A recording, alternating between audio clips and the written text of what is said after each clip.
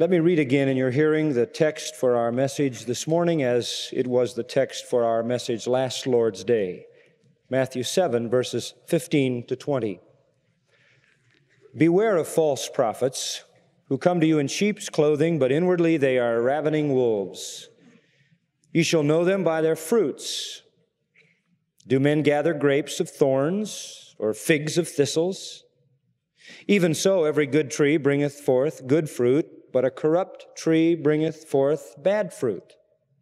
A good tree cannot bring forth bad fruit, neither can a corrupt tree bring forth good fruit.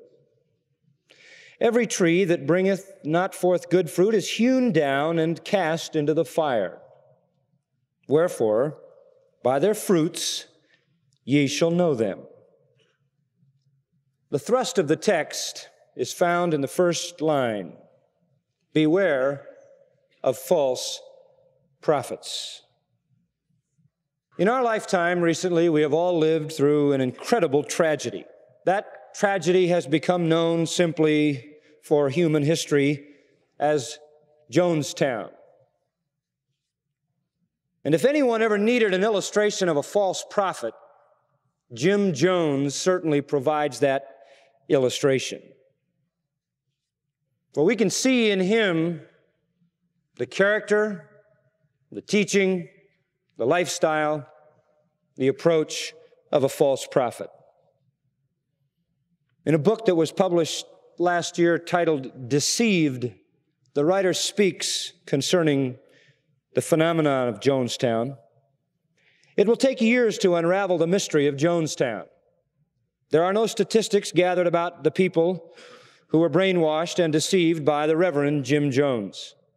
There are no records available to us giving names, addresses, and personality profiles of those who came to the People's Temple Christian Church and stayed to die.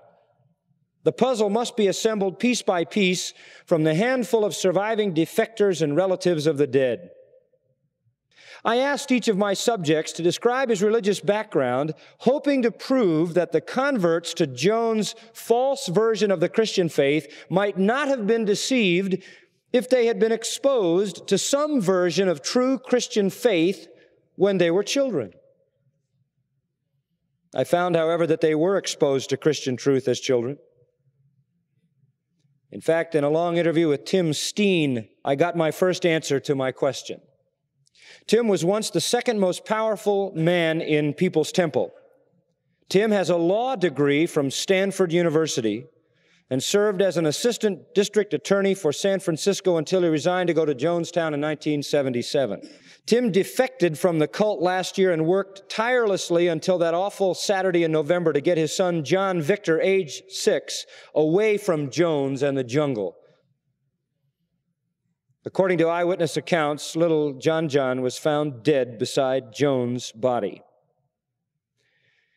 I was raised in a Christian home, he told me. My parents were fundamentalists, members of the General Association of Regular Baptists, GARB. I went to Sunday school and college all my young life. I attended Wheaton College, a leading evangelical Christian college in Illinois, and was involved in student leadership. When I moved to California, I joined and attended regularly the First Presbyterian Church in Berkeley. For two years, I was the president of their Corinthians, a business and professional young adult group. I admired and respected their evangelical yet socially concerned pastoral staff. I was attending First Presbyterian and the People's Temple until I joined Jim Jones' staff. Gene Mills, another victim, was for seven years a member of the temple, one of Jones' writers, and a member of his planning commission, said, I attended or taught in my church's Christian education program from my childhood. When I was 18 years old, I was the leader of the Pathfinders Club, which had over 50 kids in it. I had 22 adults working under me. I could give you an answer from the Bible for any question. I knew the Bible backward and forward. At one point in my life, the minister tried to send me to college to become his Bible worker, and I was very dedicated to the church. Wayne Pietila, who was Jones' private bodyguard and driver, grew up in a Nazarene Sunday school. His wife and longtime member of the cult grew up in a charismatic church and attended Sunday school and church regularly. Bonnie Thielman, for six years a member of the temple, was the daughter of Assembly of God missionaries to Brazil and attended Bethany College, a Lutheran school in Minnesota. Carolyn Moore was president of her Methodist Youth Fellowship group, and she and her sister Annie were children of a Methodist minister, and both served as intimate Jones aides, and both died in Guyana.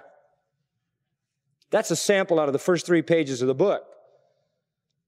These people were people raised in a Christian environment, and yet the subtlety of the man deceived even them. Such is the deceitfulness of false prophets. And such is the reason why our Lord says, Beware. They're not something superficially discovered. The writer of the book Deceived, in trying to give us some insight into why it was that people followed Jim Jones, drew the following reasons. He knew how to inspire hope. He was committed to people in need. He counseled prisoners and juvenile delinquents. He started a job placement center. He opened rest homes and homes for the retarded. He had a health clinic. He organized a vocational training center. He provided free legal aid. He founded a community center. He preached about God. He even claimed to cast out demons, do miracles, and heal. But on the other hand, we find all the marks of a false prophet. He promoted himself through the use of celebrities a very common vehicle for false prophets to gain credibility. He manipulated the press.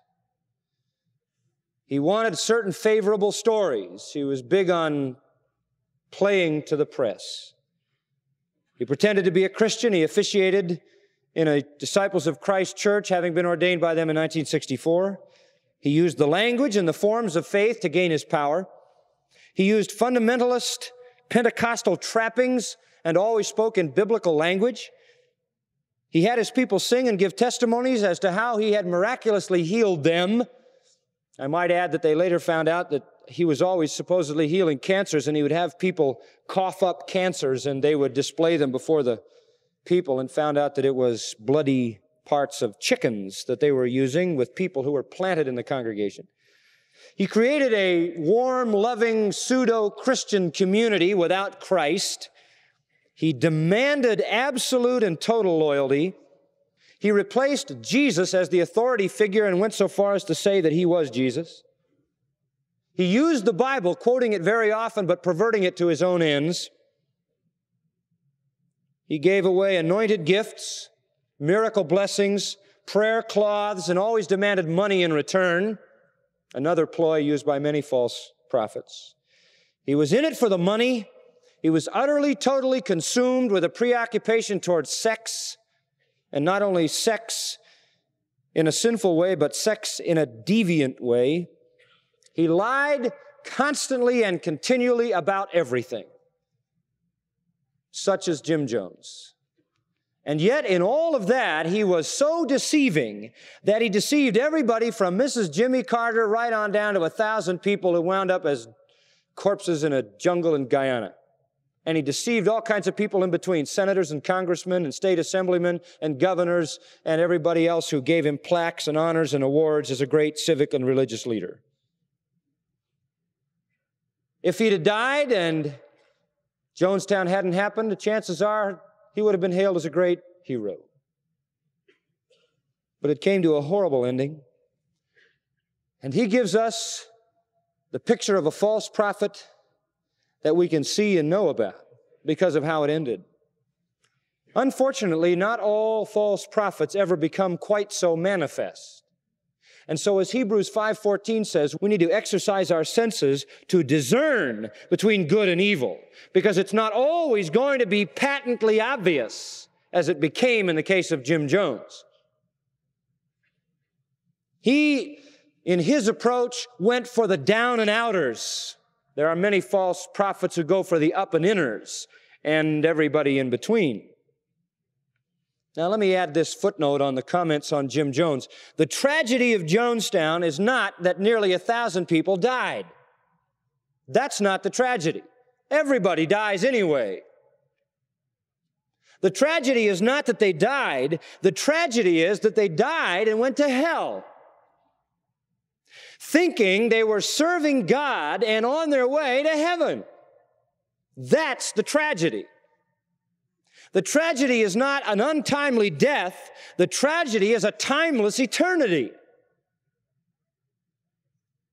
The tragedy of Jim Jones is that he duped people into thinking that he represented God and Christ. And they actually believed they were serving the kingdom of God only to wake up in hell. Deceit. Satan is a liar and a deceiver. So are his emissaries. And they transform themselves into those who masquerade as angels of light. Jim Jones isn't the only one, and he isn't the last one. Jesus said, There shall arise false prophets and false Christs with great signs and wonders who will deceive many. And Jude wrote that there would come these certain men creeping in unawares, turning the grace of God into sensuality. We've always had them. We'll always have them. He's just an example. And by the way, they're not all going to be exactly like him in their modus operandi either. He was for the down and outers, some are for the up and inners. His was a rather blatant and flagrant kind of authoritarianism, some are much more subtle than that. His was an outwardly vile and filthy approach. Some are very clean and appear almost virtuous.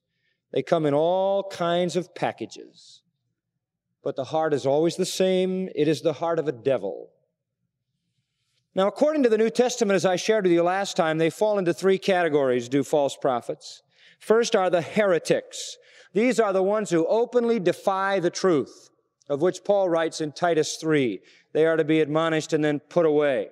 These are the ones who blatantly stand against the truth. And for example, you have a person like Reverend Ike he says, The Bible says the love of money is the root of all evil. But I say, and he says it all the time, to be without money is the root of all evil. He just patently puts himself against the Bible. That's an heretic. Flagrant, open, doesn't fool anybody. Then there's a second category, an apostate. An apostate is one who knows the truth who was reared in the truth, who was around the truth, but in the fullness of its understanding turned his back on it and rejected it. He too is flagrant. He too is open and against the truth. But then, thirdly, there's another category of false prophet called the deceiver. And this is the one who never comes out against it who will not accept the fact that he's an heretic, who will not acknowledge apostasy, but one who deceives, one who is the wolf in the garment of the shepherd, one who comes in unawares, as Jude says it, subtle, maybe like Jones at the end discovered, maybe not. And they stand at the crossroads of life. They stand at the crux of decisions. They stand when humanity is ready to make the choice between the narrow gate, the narrow way that leads to life, the broad gate, the broad way that leads to destruction. And while the Spirit of God woos men to the narrow gate, the false prophets shove them onto the broad way that leads to hell. They come in all levels of sophistication. They come in all kinds of education and all kinds of garb and dress with all kinds of ecclesiastical trappings, but they are all the same. And our Lord, in referring to them here, certainly had in mind the Pharisees and the scribes. In Matthew 23, if there's any doubt by the time we get to that chapter, you'll know he's talking about them. But he sees them as false prophets.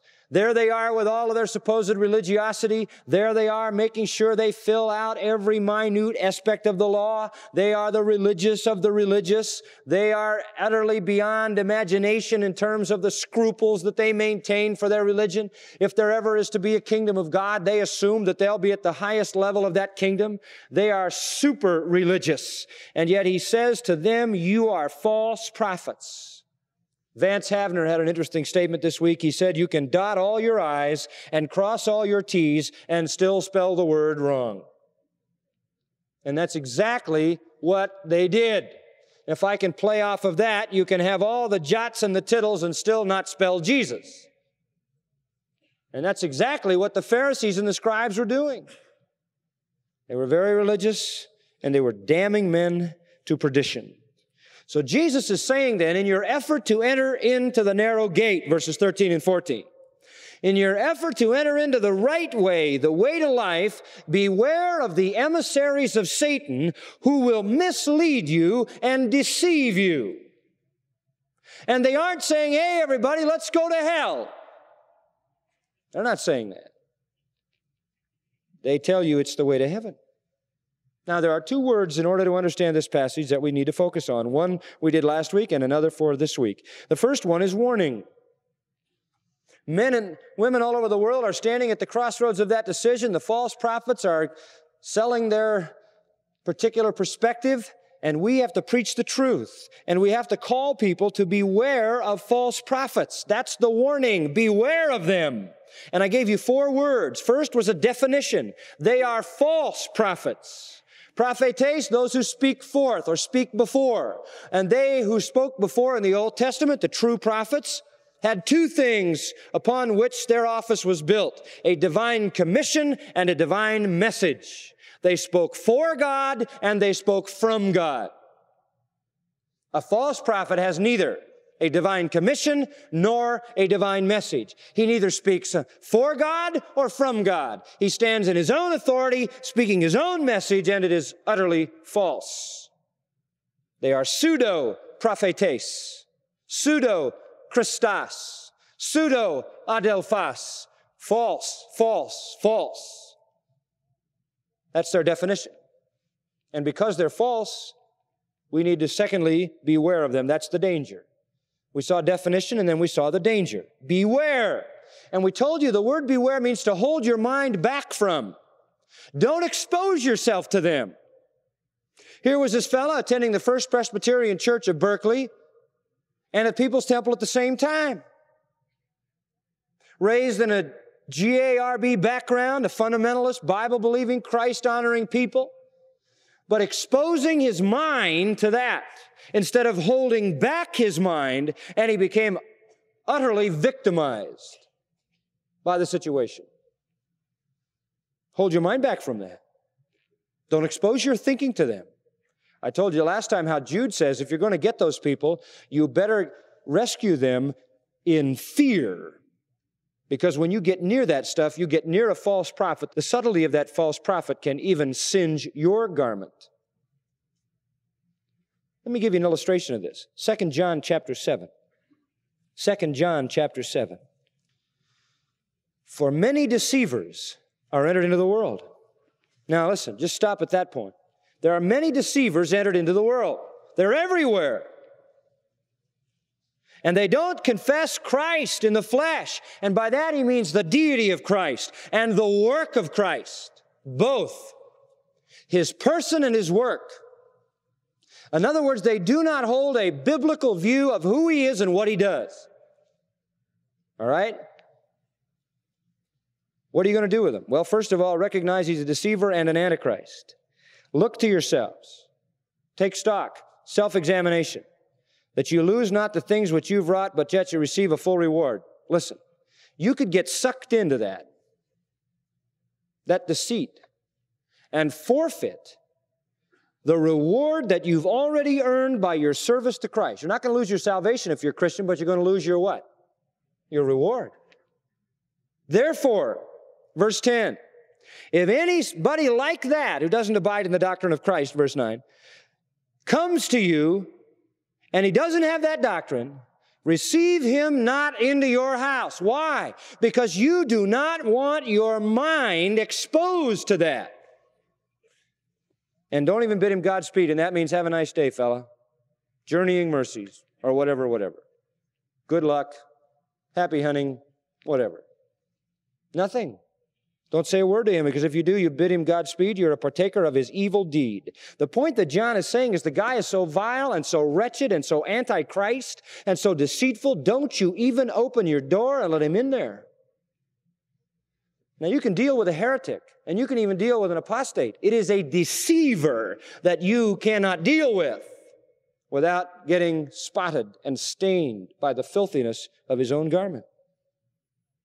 Now, what is your protection? 2 Timothy chapter 3. has, I think, a good word along this line. In 2 Timothy 3, we were introduced in verse 8 to Jannes and Jambres, the two false prophets in the day of Moses. And just like Jannes and Jambres, so there are also men who resist the truth, men of corrupt minds, reprobate concerning the faith. Now, what do we do with these evil men? Well, we have to recognize them. We have to recognize that they're going to be judged. Verse 9. That they don't believe what we believe. Paul says, But you, Timothy, have fully known my doctrine, my manner of life, my purpose, faith, long suffering, love, and patience. In other words, make sure you make a distinction. You know how different we are. But verse 13, it's not going to be easy because evil men and seducers, these are the false prophets, will get worse and worse, deceiving and being deceived. You see, many of them are even deceived. Someone asked me last week, do you think false prophets know they're false prophets? Some do, some don't. Because deceivers are often also deceived.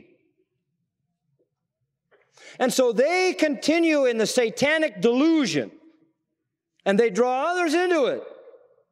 But how do you protect yourself? Point one, by holding your mind back from them. Don't be exposed to them.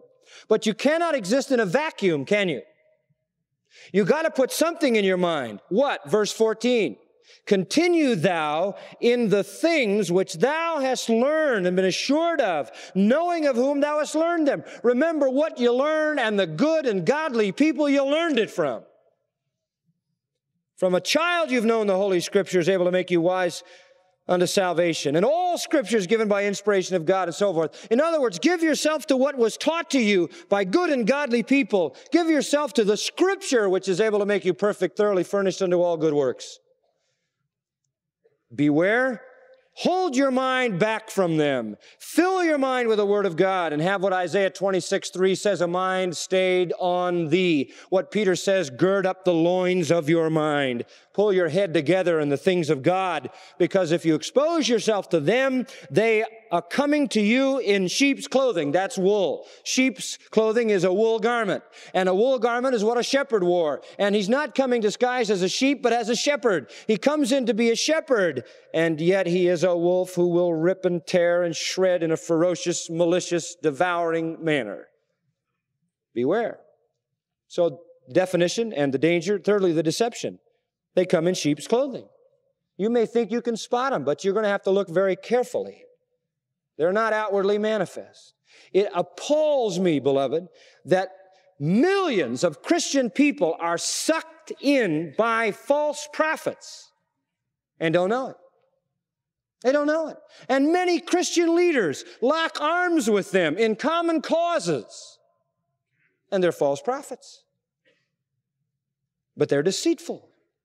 The final word is damnation. Their end, we saw last time, as Jude says it in verse 13, is blackness of darkness forever. And along with the people they deceive in verse 23 of Matthew 7, the Lord will say, I never knew you, depart from me that work iniquity. So we learned then the warning. Now, the second word for this morning is watching. Watching. And I'm going to go through this rapidly, and I want you to hear it because I feel it is an utterly essential message for us in this day of compromise, a day when so many people are parading as Christian leaders and so many true Christians are linking up with false Christians and false prophets. I think it's essential that we understand this. All right, let's look at the second word. The word is watching. Now that we are warned, what are we looking for? How do I know one when I see one? If I have to beware of them, because they're going to tear me up. What am I looking for? What are the marks of a false prophet? And bless God, He doesn't give us an instruction without the tools to deal with it. He doesn't say, watch out for false prophets and good luck in figuring out who they are. I mean, if they're this serious and this dangerous, then God is going to help us to understand who they are. And so in verse 15, we read this Ye shall know. Ye shall know. That is not a command, that is an assurance. That is a confidence. And how are we going to know? By their what? Fruits. Verse 20. Wherefore by their fruits ye shall know them. Like root, like fruit, said the old proverb. The Jews, the Greeks, the Romans, and everybody else have used trees and fruit in this same way. A tree is judged by its fruit. You want to know what the prophet is like, look at what he produces. Simple enough. Look at what he produces. Now you got to be careful, a little bit careful. You might look at a false prophet and say, but, but I know so and so and they go there and, and, and they're Christians. I know they're Christians. Well, that's right. You know some Christians get sucked in by false prophets. Christians line up with false prophets. You know who they are? They're in verse 16. They're the grapes stuck on the thorns and the figs stuck on the thistles. Did you know that grapes don't grow on thorns? And figs don't grow on thistles? But you can stick them there. But if you look closely, you will see that the thorn didn't produce that grape and the thistle didn't produce that fig. But there are people who will attach themselves unwittingly. They'll get stuck on some false teacher who appears to be a Christian. But if you look closely, there's a simple principle in verses 17 and 18. Good trees make good fruit, bad trees make bad fruit. Not too tough, right? You got a bad tree, you're going to get bad fruit. No other way. You got bad sap, you got bad stuff in the tree. And the idea isn't a rotten, stinking, wretched looking tree with a bunch of crummy, shriveled up fruit. No, they both look alike. It's just that when you bite into it, one's good, one's bad. You've had that experience. Pick up a piece of, boy, that looks good. One bite and it is not good. You have been deceived. That's why the Bible says man looks on the outward appearance, God looks on the heart. So sometimes when you go up there, you might see a false prophet and there's a real grape and a real fig, real fruit, but it's stuck on a thorn and a thistle. Because when you look at the stuff that he produces, it's going to be bad stuff no matter what it looks like on the outside. Now, how are you going to decide? What are you looking for when you see the fruit? It's easy on look at an orange or an apple or a banana or something like that, but if you're looking at somebody's life, what do you look for? Well, let me give you four words again under this second term, watching, that'll help you. Number one, fruit is character. Fruit is character. What kind of character? What kind of personality? What's his attitude and his motive and his thinking? Perspective toward life. What kind of actions? What kind of lifestyle? What kind of pattern? All that character involves from what I think to what I do. That's the first element that manifests fruit. You see, the Bible tells us that. When you look in the Bible and you want to find out about fruit, you'll find that fruit is several things.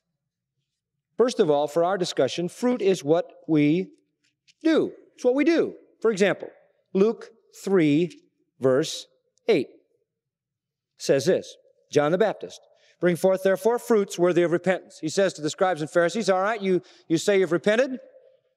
You say you've committed yourselves to God. Let's see the fruit. Now, what is the fruit? What does he want? Verse 10 The people asked him, What shall we do then? I mean, what kind of fruit are you looking for, JB? What is it you want? Verse 11.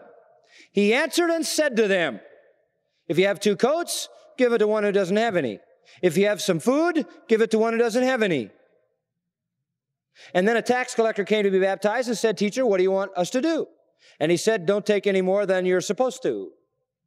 In other words, he is saying the fruit of repentance is giving something to somebody in need, is not taking any more than you deserve. It's an action. Fruit is the way you live. Fruit is a lifestyle. Fruit is acting. It's not, some people have thought that this fruit here is only in their doctrine. No, no. It's in their action too. That's clearly fruit throughout the scripture.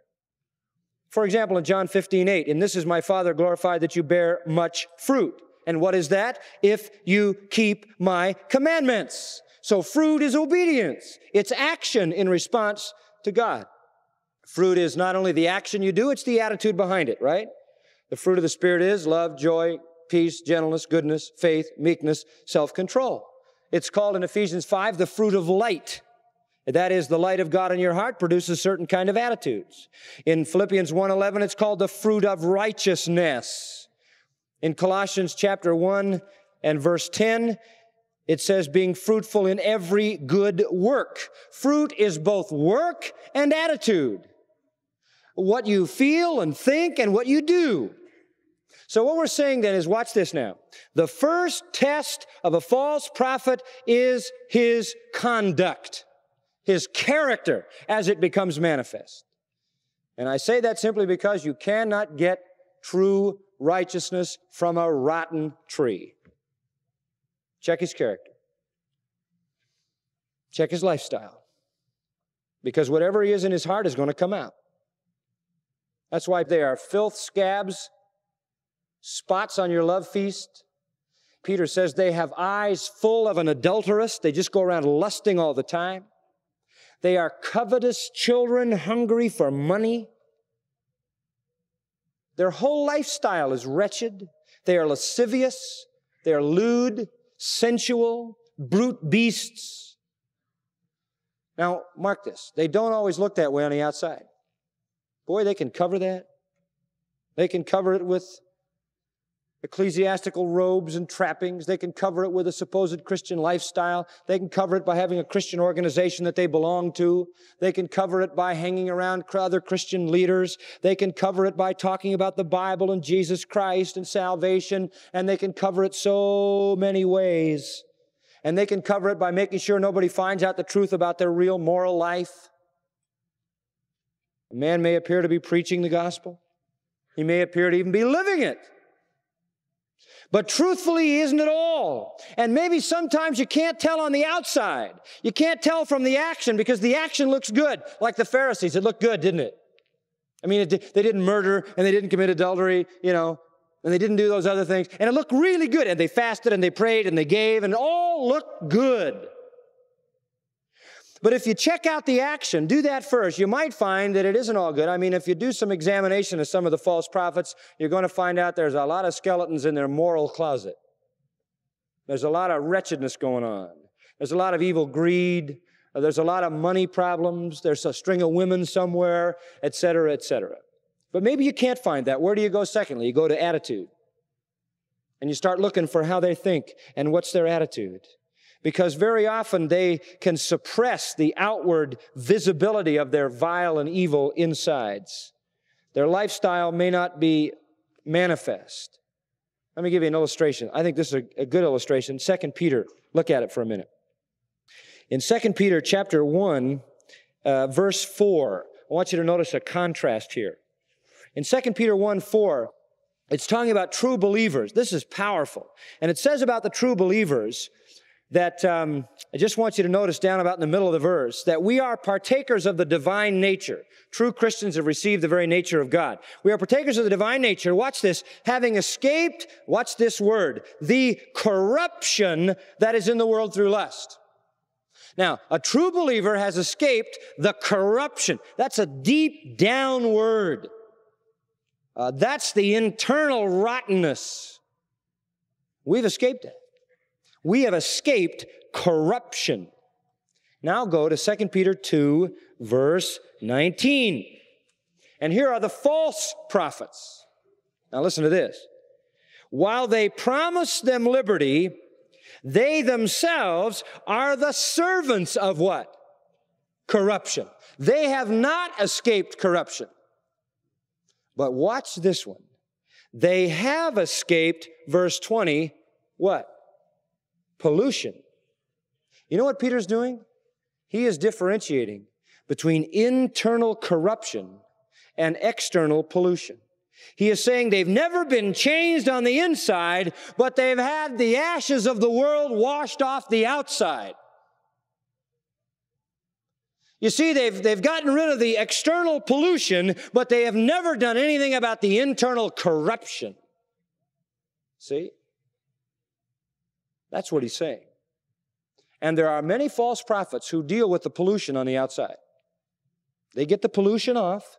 They look really good temporarily. And how are you going to tell them? I mean, you've looked for their action and they look so good. And you can't find any moral skeletons in their closet. You can't find any problems outwardly. It all looks kind of nice.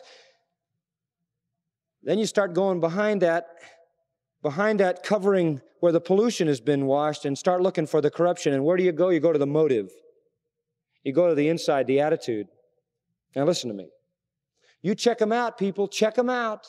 Not only for your sake, but for the sake of the dear people who are trapped in their evil systems. You check them out. Unless their motive is genuine desire to glorify God, unless their motive is holiness, unless their motive is to overcome the offensiveness of sin, unless their motive is to magnify Christ, unless their motive is humility and selflessness, then all of their goodness is filthy rags, the menstrual cloths of which Isaiah speaks.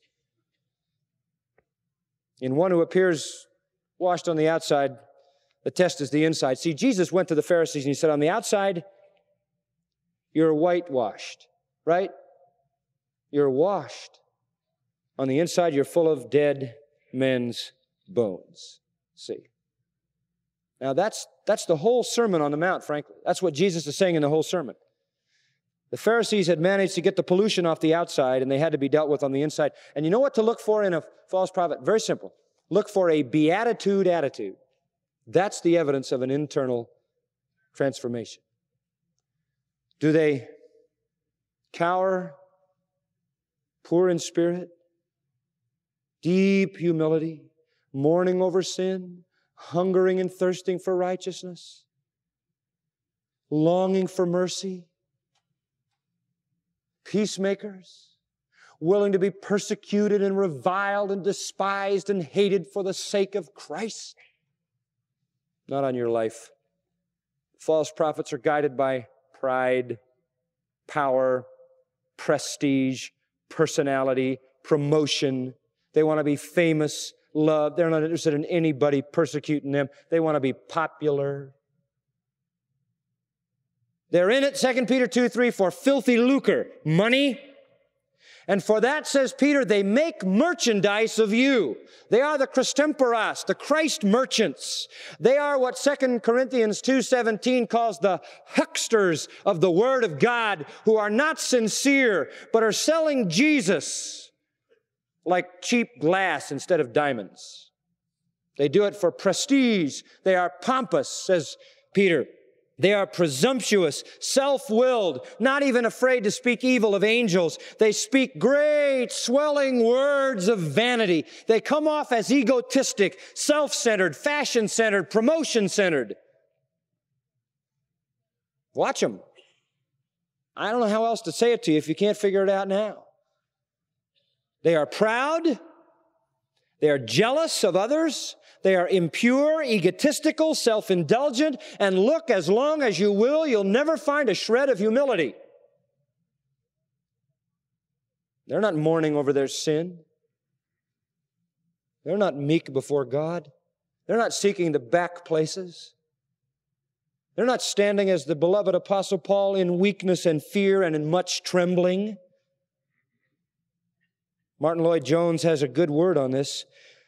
A Christian can generally be known by his very appearance. The man who really believes in the holiness of God and who knows his own sinfulness and the blackness of his own heart. The man who believes in the judgment of God and the possibility of hell and torment. The man who really believes that he himself is so vile and helpless at nothing but the coming of the Son of God from heaven to earth and is going to the bitter shame and agony and cruelty of the cross could ever save him and reconcile him to God. That man is going to show all of that in his personality. He is a man who is bound to give the impression of meekness. He is bound to be humble. And our Lord reminds us here that if a man is not humble, we are to be wary of him. He can put on a kind of sheep's clothing, but that is not true humility. That is not true meekness. If a man's doctrine is wrong, it will generally show itself at this point. He will be affable and pleasant.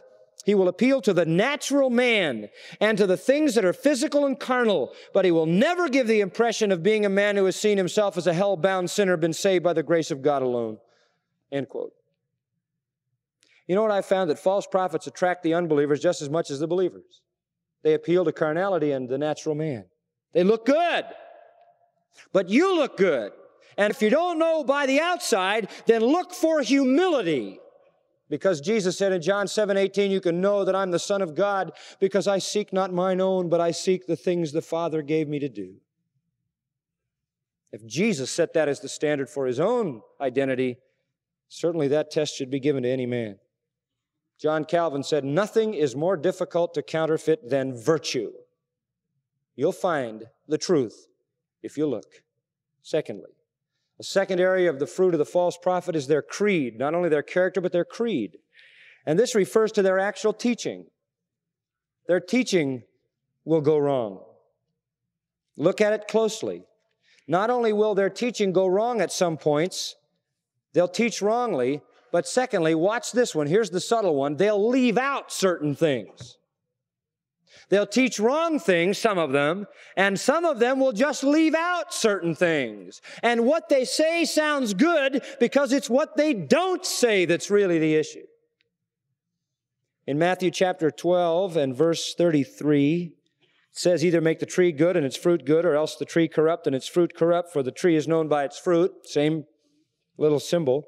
Then 34, O generation of vipers, you snakes, he says. How can you, being evil, speak good things? For out of the abundance of the heart, the mouth speaketh. And by your words you'll be justified, and by your words you'll be condemned. So, listen to what they're really saying. Listen to what they're really saying. Do they speak the Bible?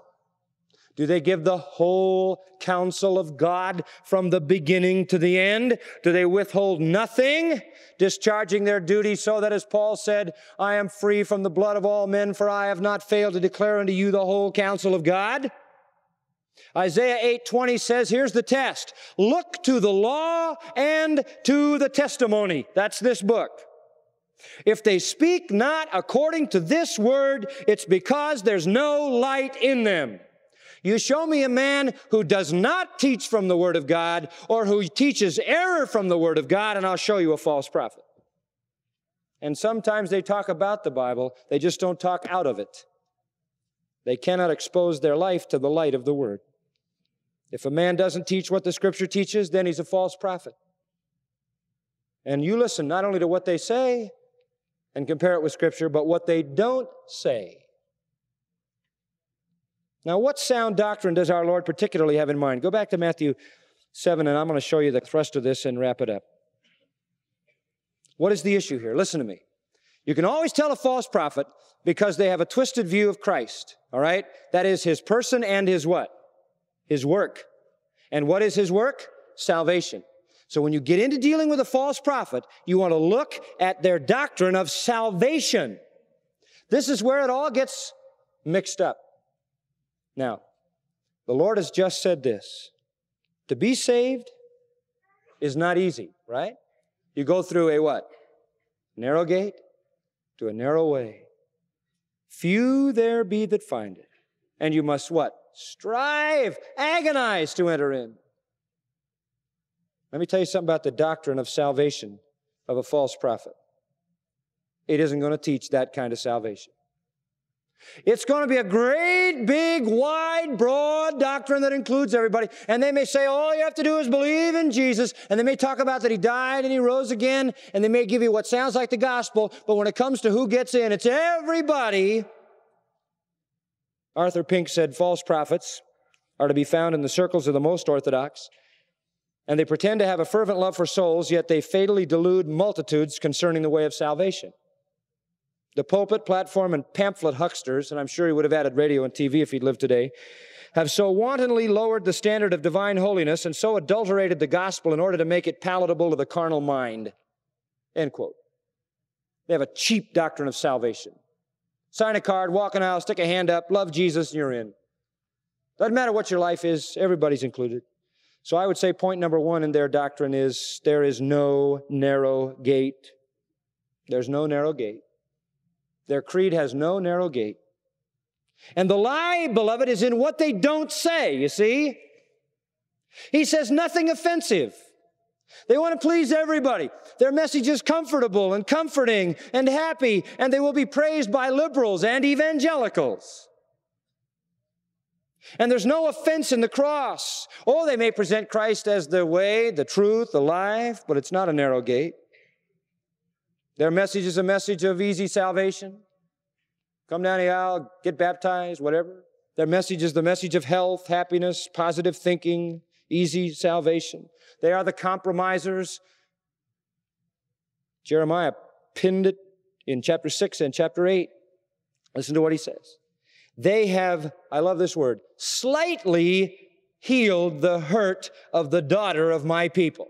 Here come the false prophets, and my the daughter of my people has a deep wound, and they put a little band-aid on it and say, We fixed it all up. Just don't even see that wound. It's not even there. We just covered it over. And Jeremiah says, they say, Peace, peace, when there what? Is no peace. In other words, they lie. They say everything is fine, and it isn't.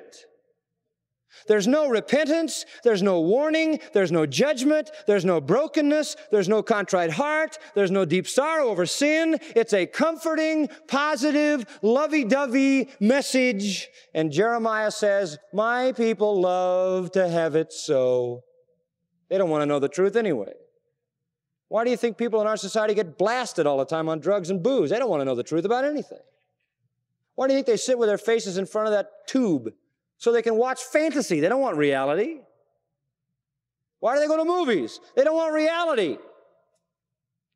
They love the illusion. And so the false prophets have a very, very big field to harvest from. My people love to have it so. And so they pile up, the people do, behind the happy Holy Spirit healers and positive thinkers and cheap grace preachers and one great, big, comfortable group saying, peace, peace. And there's no peace. That's not the way. I believe Martyn Lloyd-Jones was exactly right when he said, inevitably, listen to this, false prophets are characterized by an almost entire absence of doctrine. It's just not there. You never hear them talk about it. They don't want to talk doctrine. They don't want to talk theology. We just all get together. They never particularize anything. Everything's very vague and very foggy and very ethereal. No message of holiness, no message of obedience, righteousness, justice, judgment. Just a lot of happy feelings, health, happiness, positive thinking, thoughts, easy believism, get saved, jump on the bandwagon. And it pleases men into hell. There's never a call for repentance. This is a far cry from the Puritans, a far cry from John Wesley, George Whitefield, and others. Do you know when John Bunyan was saved, who wrote Pilgrim's Progress, The Holy War, and other things, that great man of God wrote a, a sort of a biography called Grace Abounding. And in that, do you know what he says? He says, I endured at the time of my salvation an agony of repentance that lasted 18 months. 18 months. He agonized over his sin. Martyn Lloyd-Jones says repentance means you realize you're guilty, a vile sinner in the presence of God, that you deserve the wrath and punishment of God, that you're hell bound. It means that you begin to realize that this thing called sin is in you and you long to get rid of it and you turn your back on it in every shape and form. You renounce the world, whatever the cost. The world is in its mind and outlook as well as its practice. And you deny yourself and take up the cross and go after Christ, your nearest and dearest. And the whole world may call you a fool or say you have religious mania. You may have to suffer financially but it makes no difference. That is repentance. End quote. The false prophets don't preach it that way. They're vague about everything. We better listen to the true prophets and not the false. Arthur Pink says, Certain it is, my reader, that any preacher who rejects God's law, who denies repentance to be a condition of salvation, who assures the giddy and godless that they are loved by God, who declares that saving faith is nothing more than an act of the will which every person has the power to perform, is a false prophet and should be shunned like a deadly plague.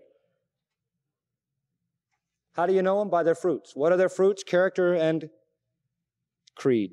Thirdly, and just a comment, converts. You can tell them by who's following. You want to know about a leader? Look at his followers. Look at their lives. Many shall follow their sensual ways, said Peter. Their fruit is their converts. That's right. Look who's following them. See who's buying their bag, accepting their influence. Who has bought their cunning craftiness. Paul calls his converts in Romans 1 fruit, and converts are fruit. Do you see humility in their lives? Do you see a striving after holiness? Do you see a hungering and thirsting for righteousness? Or are they just the bandwagon gang? Just on the bandwagon? Jesus, sort of a trip they're on. You see real virtue, real godliness. There's a fourth term. You can tell them by the fourth fruit, consummation. You can tell them by how they're going to end, too. Verse 19 Every tree that bringeth not forth good fruit is hewn down and cast into the fire. Ultimately, you can tell a false prophet by his condemnation, his consummation. And I want to close with the truth here that I want you to get. Listen, God has ordained that false prophets exist. You ever thought about why? I did. Till I understood a principle in Scripture. Just listen to this. Write it down. 1 Corinthians 11, 19. You can study it on your own. Just jot it down. 1 Corinthians 11, 19. It'll really help you to understand this. Here's what it says. Now just listen to me. For there must also be heresies among you. Do you hear that? There must be heresies among you. You say, what do you mean? Why couldn't the Lord leave them out? Why do we have to have this trouble of false prophets? The Lord didn't have to let them happen, but there must be there heresy. Why?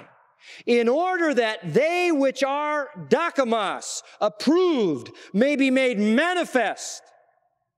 You see, God says if you have a heresy, then that heresy becomes a magnet that pulls away the false disciples and leaves manifest the genuine ones. It's like the wind that blows the chaff away. You see? In other words, he is saying they will have converts who will identify with them. Error separates the chaff and the wheat. By means of true and false prophets, God reveals who's genuine. Oh, I know some of the genuine fruits over there stuck on those thorns, and some of the tares are sown among the wheat.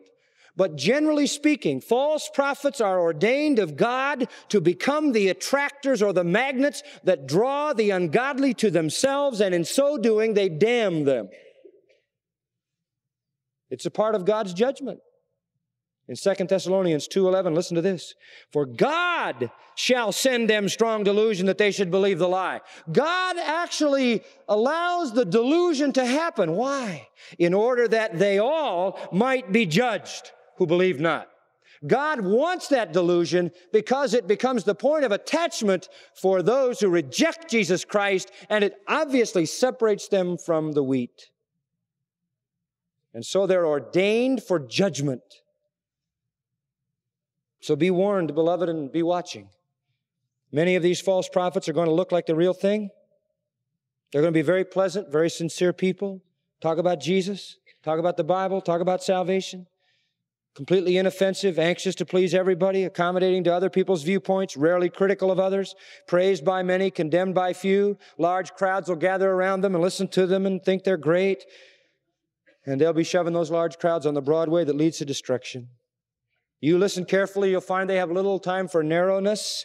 They, they are just sure that God's mind is bigger than many of those who talk about a narrow way. They talk about the love of God, not the wrath of God. They talk about people being deprived, not being depraved. Talk about God, the Father of everybody, full of love and understanding, and nothing but a holy God whose only children are those of faith in Christ. Their message is a message of gaps it just leaves out the truth that saves. So beware. I close with Acts, the warning of Paul to the Ephesian elders. He said this I know this, that after my departing shall grievous wolves enter in among you, not sparing the flock. I know that. If this were the last Sunday I were ever to preach at Grace Church, I think I'd preach this message. I know that after my leaving, grievous wolves will enter in among you, false prophets. And of your own selves shall men arise, speaking perverse things to draw away disciples to themselves. Therefore, watch and remember that for the space of three years I ceased not to warn everyone night and day with tears. There's those two words watch and warn, watch and warn. You watch and you're warned. Paul says. They're going to be there. They're going to be right in the midst of us. And now, brethren, here's the answer. I, get this, commend you to the word of his grace. our only protection. Let's pray. Father, thank you again this morning for your good word to us, for the patience of these people to hear and listen with real hearing hearts. Confirm in us that which is from you. Help us to be discerning, that we may not fall prey to those who would damn men's souls. And yet, Lord, we know that there's a sovereignty about it all, too. We don't understand how that comes together, but we know you've ordained them for such a judgment to draw to themselves the chaff that the wheat might be made manifest. Show us the true and the false, so that we might point men to the narrow way. For Christ's glory, we pray. Amen.